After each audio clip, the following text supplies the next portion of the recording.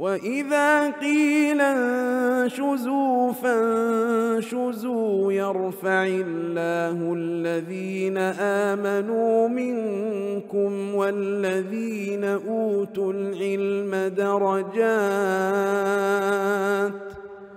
والله بما تعملون خبير. Ya, jadi uh, langsung saja. Terkait dengan fenomena masyarakat di mana ketika ada yang eh, hamil di luar nikah kemudian di langsung dinikahkan Ustaz. Ya, mohon penjelasannya Ustaz. Baik. Hamil di luar nikah. Pertama kita tentunya tidak berbicara tentang apa hukumnya orang hamil di luar nikah. Karena tidak ada perselisihan di antara kita, baik orang belajar atau orang yang tidak belajar, bahwa berhubungan badan tanpa ada pernikahan itu tentunya zina. Tentunya apa? Zina. Tidak ada perselisihan. Tanpa ada ikatan pernikahan yang sah, maka itu zina. Sekarang bagaimana kalau ada orang menikah? Dalam keadaan dia sudah berzina dan hamil. Maka tidak ada ulama yang mengatakan sah pernikahannya. Kecuali apa yang dinukil dari orang-orang Hanafiyah. Katanya sah. Katanya sah pernikahannya. Dan yang benar yang dipegang oleh mayoritas seperti Malikiyah, Syafi'iyah, Hanabilah. Menikah dengan perut ada isinya berupa janin. Itu tidak sah. Itu tidak sah. Karena syarat dari pernikahan itu harus kosong dari kandungan. Makanya kalau ada orang ditalak, orang ada orang ditalak harus tiga kali masa haid. Karena dengan tiga kali haid itu pasti tidak ada isinya.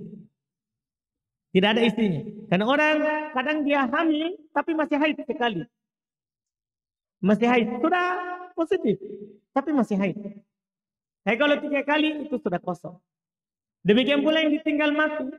Kalau orang ditinggal mati, itu kan dia menunggu 4 bulan 10 hari. 4 bulan 10 hari. Kecuali satu keadaan. Kecuali satu keadaan. Yang ditinggal cerai atau tinggal mati ini, kita tidak perlu menunggu. Seperti itu. Kalau dia sedang hamil. Kalau dia sedang hamil, maka idahnya melahirkan. Kalau dia ditalak hari ini, oh melahirkan langsung besok malam.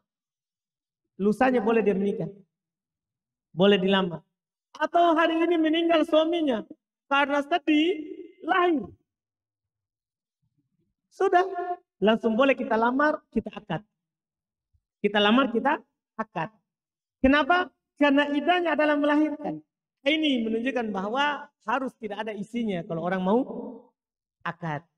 Kalau orang mau akad.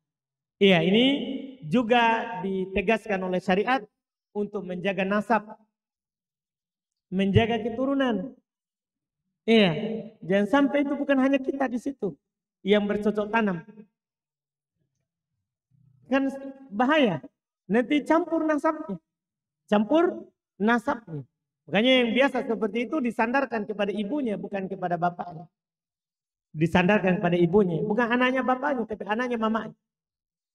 Anaknya mamanya. Dan banyak lagi hal-hal yang lain Ya, kadang kalau kita bolehkan seperti itu, kalau kita bilang boleh, ya kadang orang sebelum akad sudah malam pertama, kan boleh ji, sah.